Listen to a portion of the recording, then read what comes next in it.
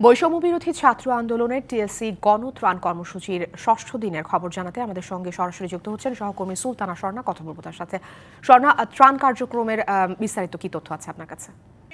গণত্রাণ সংগ্রহ কর্মসূচির আজ কিন্তু ষষ্ঠ দিন এবং পঞ্চম দিন সন্ধে নাগাদ পর্যন্ত কিন্তু এখন পর্যন্ত আমরা যে তথ্য পেয়েছি যে পাঁচ কোটির বেশি অর্থ, নগদ অর্থর পাশাপাশি পণ্য সামগ্রীও কিন্তু আসলে ত্রাণ সামগ্রীর এখানে জমা হয়েছে বলে কিন্তু আমাদেরকে জানিয়েছেন যে সমন্বয়করা আছেন। তার পাশাপাশি এখানে যারা ভলেন্টিয়াররা কাজ করছেন তারা।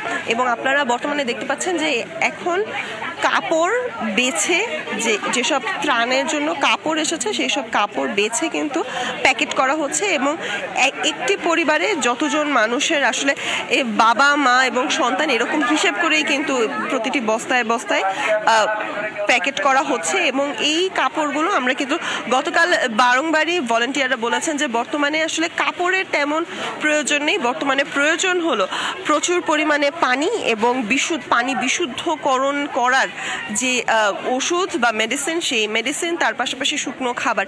কারণ পানি নেমে যাচ্ছে ভলেন্টিয়ারদের সাথে আমরা যখন কথা বলেছি, তারা কিন্তু জানিয়েছেন যে, যেহেতু বর্তমানে পানি নেমে যাচ্ছে, এখন কাপড়ের থেকে অনেক বেশি তাদের প্রয়োজন পানি বিশুদ্ধকরণের সেই ট্যাবলেট এবং বিশুদ্ধ পানি।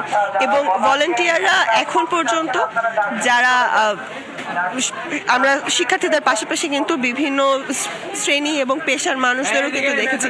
তবে এখন পর্যন্ত যেহেতু আহ, বর্তমানে আজকে একটি সাপ্তাহিক কর্মদিবস। কর্মদিবসে কিন্তু আমরা দেখছি যে কর্মজীবী মানুষের তেমন ভিড় না থাকলেও কিন্তু বর্তমানে আমরা লক্ষ্য করেছি বিভিন্ন স্কুলের স্টুডেন্টরা যেমন আছে, তার পাশাপাশি কিন্তু বিভিন্ন ইউনিভার্সিটির স্টুডেন্টরাও রয়েছেন এবং সেখানে শুধুমাত্র ঢাকা বিশ্ববিদ্যালয় না, আমরা লক্ষ্য করেছি বিভিন্ন প্রাইভেট ইউনিভার্সিটি, বিভিন্ন স্কুল, কলেজের শিক্ষার্থীরাও কিন্তু এখানে রয়েছেন এবং স্বর্ণ স্বর্ণ আপনাকে ধন্যবাদ।